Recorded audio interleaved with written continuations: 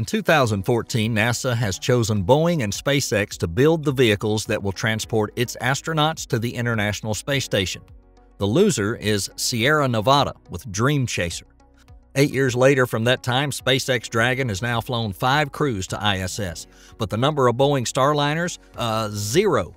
More seriously, due to lack of confidence, NASA's even delayed the first flight of Boeing's CST 100 Starliner commercial crew vehicle with astronauts on board, a slip that will push back the spacecraft's first operational mission to 2024. Meanwhile, NASA's putting out a request to Sierra Space to submit their capabilities and qualifications to provide a rather redundancy commercial crew vehicle. When the Sierra Nevada Corporation, SNC, lost out on the NASA crew contract in 2014 to Boeing and SpaceX, there were a lot of sympathetic hearts crushed. But SNC didn't give up. They took their crewed prototype design and reworked it as the Dream Chaser Cargo, an uncrewed, refurbishable ISS resupply spacecraft. It's a bit smaller than the original crewed concept. It's able to be tucked into a large Vulcan launch vehicle fairing. As a result, the SNC successfully won a bid to resupply the ISS on a Commercial Resupply Services 2 contract with NASA in 2016 and has been cleared for production. The other two companies' winners are SpaceX and Orbital ATK. This time, no name for Boeing. Boeing found out November 5, 2016, that NASA dropped its bid from consideration. Each of the three companies is guaranteed at least six missions to the ISS starting in 2019 under the new NASA contract. We picked them because it's a great proposal, said Kirk Shireman, NASA's ISS program manager, when asked about the SNC Space Systems bid using Dream Chaser. It's a really capable vehicle, and we're really looking forward to having it in our suite of options. NASA said it was careful in its selection process after the accidents and due to the complexity of proposals. That delayed contract awards by seven months and contributed to pushing back the earliest of planned flights under the new contracts from 2018 to late 2019. SNC Space Systems is a division of Sparks, Nevada based Sierra Nevada Corp., a privately held aerospace and defense contractor. It acquired Louisville based Space Dev and in doing so picked up the Dream Chaser project that Space Dev started on in 2005 under Sirangelo's leadership. NASA has awarded SNC Space Systems 300 million towards Dream Chaser under past programs designed to stoke private sector spacecraft development. SNC invested a significant amount as well.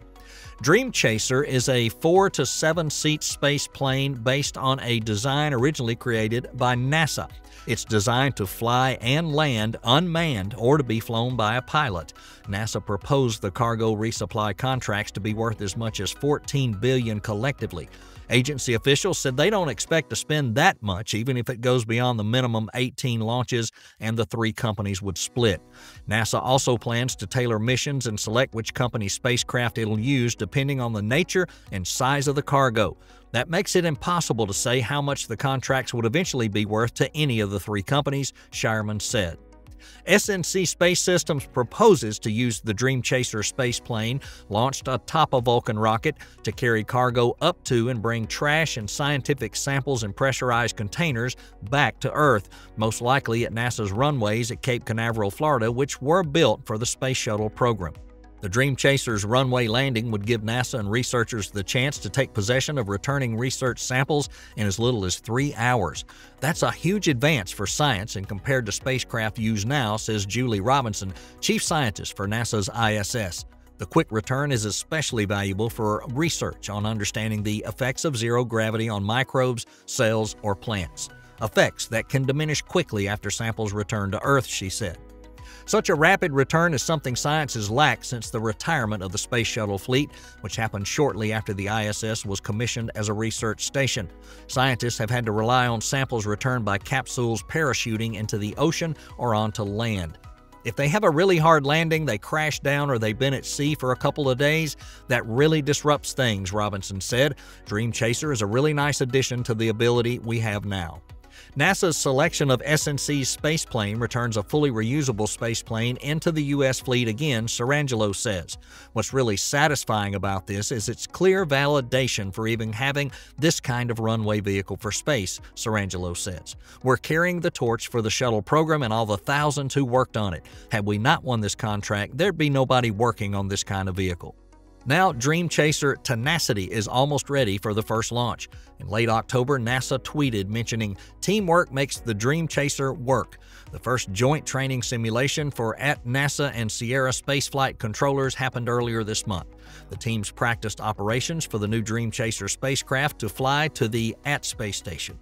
Sierra Space replied, highlighting, Our team enjoyed working with the NASA flight operation team preparing for the upcoming Dream Chaser CRS 2 cargo mission.